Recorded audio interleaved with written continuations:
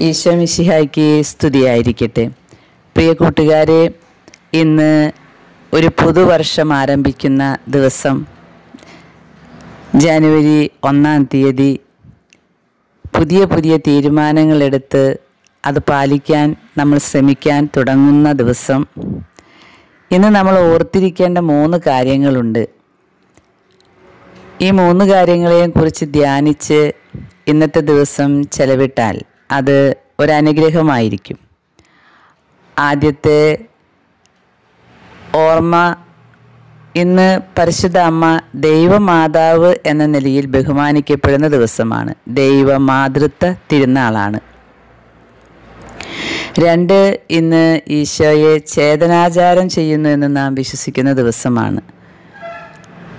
വിസ്തയോസേ പിതാവിന്റെ ആത്മീയ ജീവിതയാത്ര എന്ന ജീവചരിത്രം കൊടുത്തിരിക്കുന്ന ദർശനത്തിന്റെ പുസ്തകത്തിൽ നമ്മൾ കണ്ടു കഴിഞ്ഞതാണ് ഈ ചേതനാചാരം ഔസേപിതാവിനെ എന്തുമാത്രം വിഷമിപ്പിച്ചു എന്ന്. കാരണം ഉണ്ണി ആദ്യമായി ചിന്തുന്ന രക്തം. ഉണ്ണിക്കുണ്ടാകുന്ന ഒരു വേദന പോലും ഔസേപിതാവിന് സഹിക്കാൻ കഴിഞ്ഞില്ല.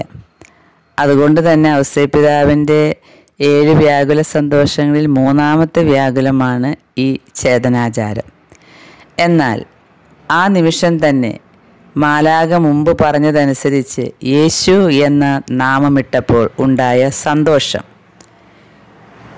അപ്പോൾ ഇന്ന് യേശു നാമ തിരുനാൾ കൂടിയാണ്. യേശു എന്ന നാമം അതിശയ നാമം മാനവർക്ക് ഇമ്പമുള്ള നാമം. യേശു എന്ന നാമം കേട്ടാൽ പൈശാചിക ശക്തികൾ ഓടി രക്ഷപ്പെടും. യേശു എന്ന നാമത്തിലാണ് എല്ലാ സൗഖ്യവും അനുഗ്രഹങ്ങളും ഭൂമിയിലേക്ക് മനുഷ്യരിലൂടെ അർഹതപ്പെട്ടവരിലൂടെ ആ വരങ്ങൾ കൊടുത്തവരിലൂടെ മനുഷ്യരിലേക്ക് അനുഗ്രഹങ്ങൾ ഒഴുകിയിറങ്ങുന്നത് യേശു നാമത്തിന്റെ ശക്തിയാലാണ്. ശ്രീ യേശു നാമം അതിശയകരമായ നാമം. യേശു യേശു യേശു എന്ന് ആത്മാർത്ഥതയോടെ സ്നേഹത്തോടെ വിളിച്ച് ഓരോ ദിവസം ഓരോ നിമിഷവും യേശു എന്ന നാമം ഒരു പ്രാവശ്യം ചൊല്ലിയാൽ മുന്നൂറ് ദിവസത്തെ ദണ്ഡവിമോചനമുണ്ട് എന്നാണ് പറയുന്നത്. നമുക്ക് ഇന്ന് ഇതെല്ലാം ഓർക്കാം. യേശു എന്ന നാമം ഇന്നേ ദിവസം എപ്പോഴും നമ്മുടെ അതരങ്ങളിൽ ഉണ്ടായിരിക്കട്ടെ പരിശുദ്ധ അമ്മ ദൈവമാതാവാണ് എന്ന ഓർമ്മ നമുക്ക് എപ്പോഴും കൊണ്ടു നടക്കാം. ഉണ്ണീശോ ആദ്യമായിട്ട് രക്തം ചിന്തിയ ചേതനാചാരം നമുക്കോർക്കാം. പ്രിയ കൂട്ടുകാരെ ഈ മൂന്ന് ഓർമ്മകളും മനസ്സിൽ നിർത്തിക്കൊണ്ട് ഇന്ന് നമുക്ക് യേശുവിനോട് പറയാം പുതിയ തീരുമാനങ്ങൾ എടുക്കാനും അത് പ്രാവർത്തികമാക്കാനും. നമുക്ക് ഇന്ന് ഈശോയോടെ മുമ്പിലിരുന്ന് പ്രാർത്ഥിക്കാം.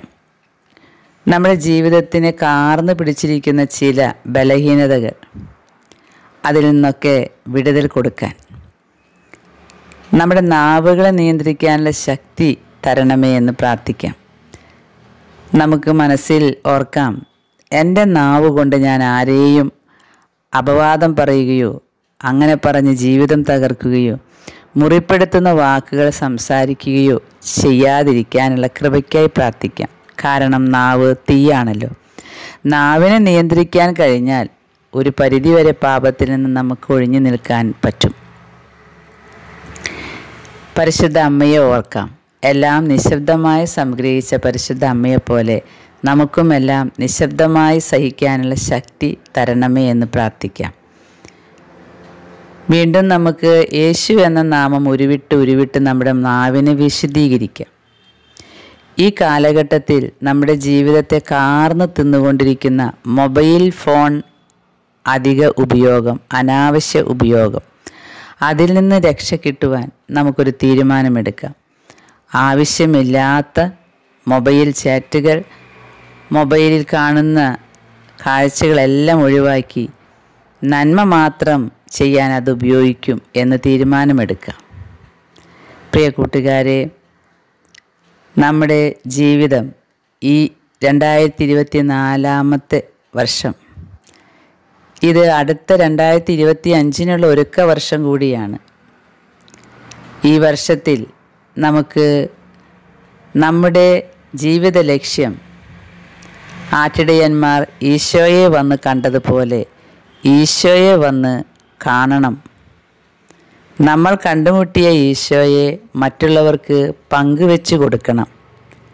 ഇതായിരിക്കട്ടെ നമ്മുടെ ഈ വർഷത്തെ ജീവിത ലക്ഷ്യം.